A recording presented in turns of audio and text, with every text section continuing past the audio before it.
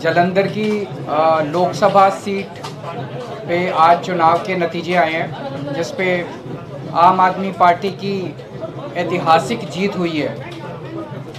अभी तक लगभग अट्ठावन हज़ार वोट से आम आदमी पार्टी के कैंडिडेट रिंकू जी आगे चल रहे हैं। थोड़ा सा गिनती और बाकी है लगभग शायद दस हज़ार वोट की गिनती और बाकी है। आ, ये बिल्कुल अनप्रेसिडेंटेड जीत है।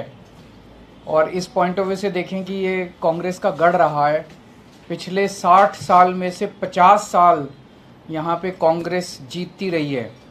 तो आ, उस गढ़ के अंदर सेंध मार के आम आदमी पार्टी जीती है। पिछले साल हमारी सरकार बनी थी पंजाब के अंदर। एक साल बाद के बाद ये चुनाव हुआ।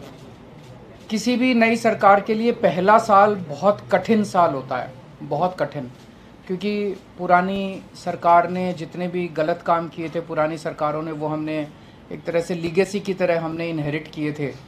और बहुत सारी प्रॉब्लम्स थी। उन सारी प्रॉब्लम्स को सॉल्व करते करते करते पंजाब की आम आदमी पार्टी की भगवंत मान सरकार ने एक अपने लिए इतना पॉजिटिव वातावरण क्रिएट किया कि जितने काम किए, हम तो केवल काम की राजनीति करते हैं। ना हम धर्म की राजनीति करते हैं ना हम जात की राजनीति, केवल काम।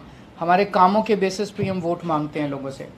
तो एक तरह से पंजाब की जनता ने, जलंधर की जनता ने, और जलंधर का जो ये नतीजा, ये पंजाब का मूड है। पूरे पंजाब का मूड इस तरह, इसमें दिखाई देता है। उन्होंने भगवंत मान साहब के, आम आदमी पार्टी की सरकार के कामों पर ठप्पा लगाया है कि जी, लगे रहो, बहुत अच्छा काम कर रहे हो, इसी तरह से करते रहो, हम आपके साथ हैं। ये बहुत बड़ा मैसेज है तो जलंधर की जनता को मैं बहुत बहुत तहे दिल से शुक्रिया अदा करना चाहता हूँ। पंजाब की जनता का मैं बहुत दिल से शुक्रिया अदा करना चाहता हूँ, बधाई देना चाहता हूँ इसके लिए।